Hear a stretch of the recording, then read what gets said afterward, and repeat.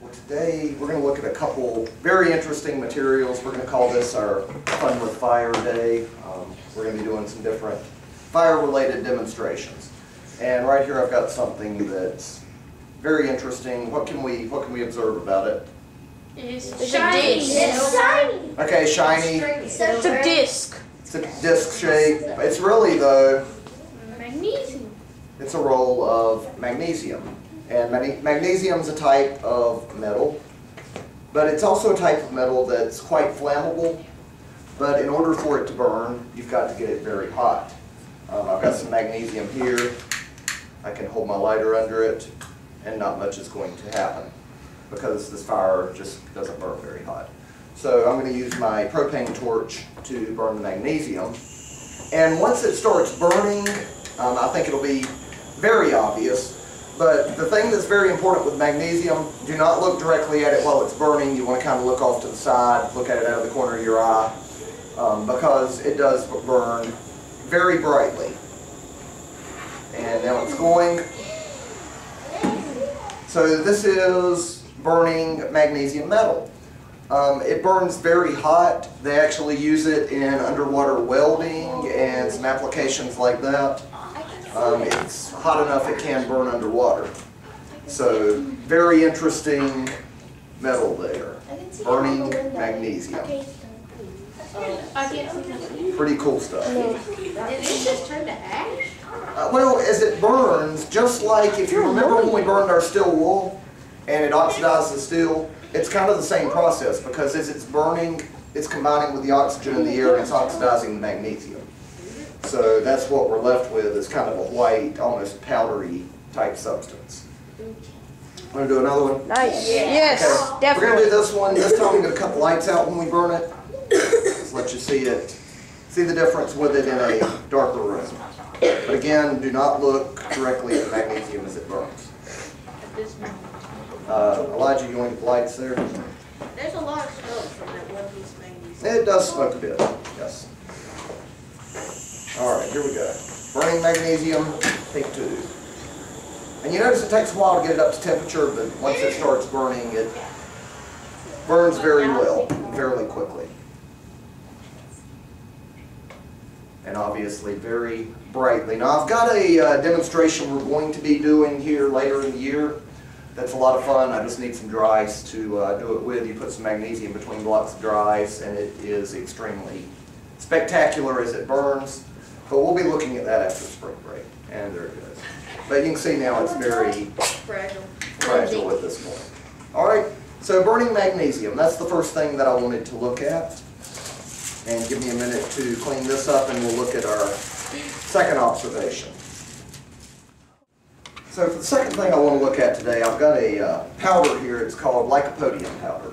And what lycopodium is, it's a type of dried out, ground up, very finely ground malts, um, which sounds pretty safe, right? Yep. But basically, what we're gonna do with this, now it's got this little symbol on the front here. And uh, what does that symbol mean, Chloe? Uh, danger. Well, what kind of danger? Oh, fire. Flammable, right? Yeah. And this is a flammable material. So let's light it on fire and I will show you how dangerous it is.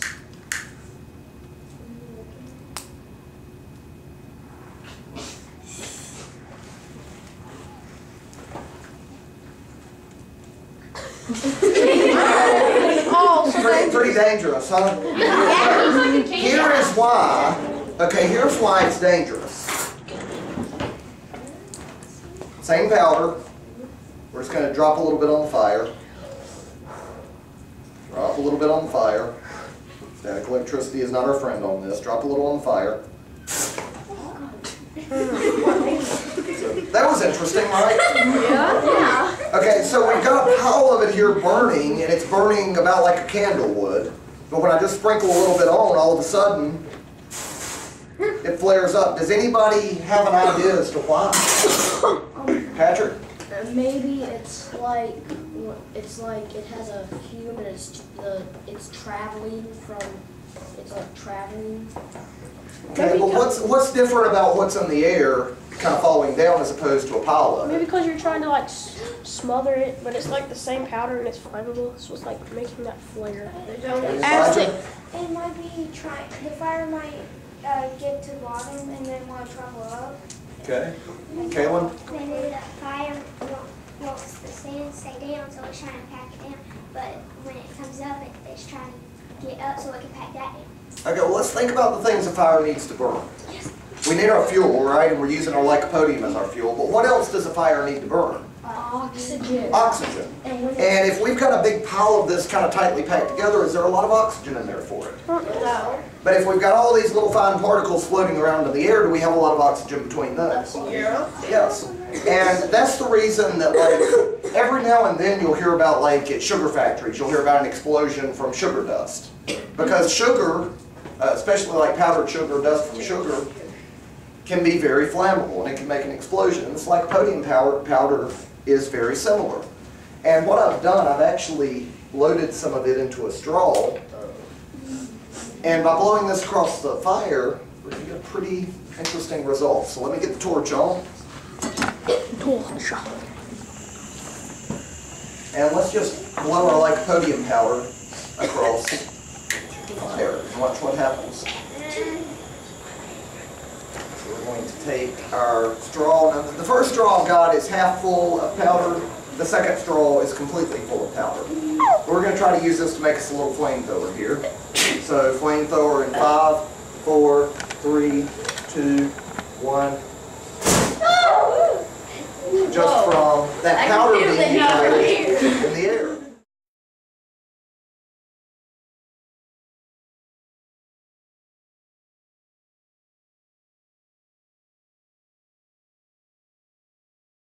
All right, let's try the full straw. No matter. Flamethrower in five, four, three, two, one. Oh! That's the difference with a flammable substance though. That's the difference between being able to burn as a larger portion and being able to burn as the fine, fine little particles. It's the same thing if you remember when we burned the steel wool. We could take a steel rod, hold it over the fire, it wouldn't burn. But we take the steel wool because the oxygen can get in around all the little steel particles, it's able to burn pretty spectacularly.